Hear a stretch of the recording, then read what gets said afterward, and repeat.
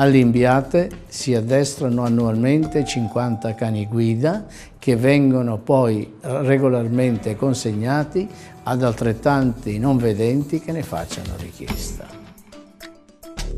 Il centro si è arricchito di nuove costruzioni, tra le quali un nuovo campo ostacoli che permette agli addestratori di svolgere al meglio il proprio lavoro e di una costruzione destinata all'accoglienza dei ciechi che si regano al centro per effettuare l'affiatamento con loro futuro cane guida.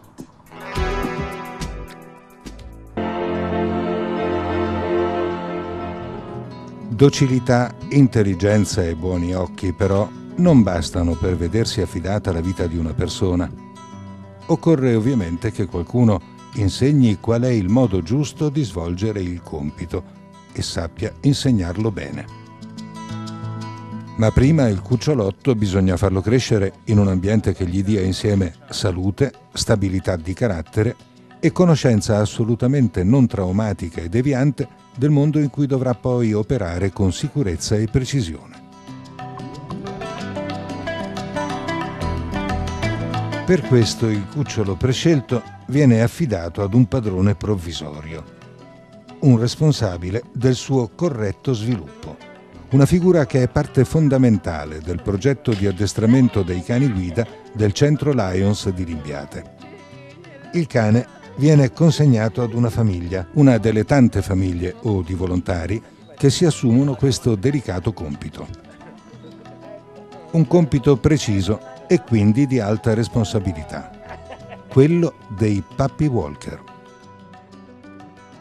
Una volta acquisito da un allevamento o da un donatore, il cucciolo infatti non può essere subito sottoposto all'addestramento, è troppo piccolo e soprattutto deve essere messo nelle condizioni migliori per sviluppare armoniosamente la sua personalità in un ambiente che gli consenta anche di abituarsi al rapporto con l'uomo, con altri animali con situazioni e casi nei quali si troverà ad agire poi senza reagire negativamente, con distrazioni, aggressività o all'opposto con eccessiva remissività o timidezza. Deve essere insomma condotto a crescere nel modo giusto per poi poter imparare le cose giuste, cioè condurre correttamente la persona che gli verrà affidata. Dura circa un anno questo periodo. Poi si inizierà la specifica fase dell'addestramento e sarà condotta con rigore dagli specialisti del centro di Limbiate.